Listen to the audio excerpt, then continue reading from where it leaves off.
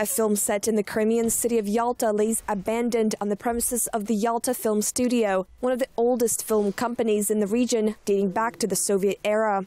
In 2000, the studio was bought by Russian bankers and film producers, brothers Andrei and Sergei Arshinov. Following Crimea's annexation by Russia nearly a year ago, its fate took a new turn. Sergei Arshinov, part owner of the company, says control of the studio was taken from them by armed men who stormed the grounds.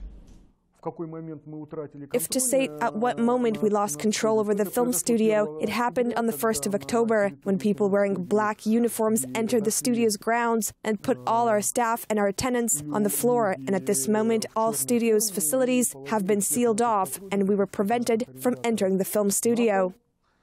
Among a series of companies hit with seizures of their property by Russian occupying authorities is also Krymavtotrans, a company that provides services involved with public transport.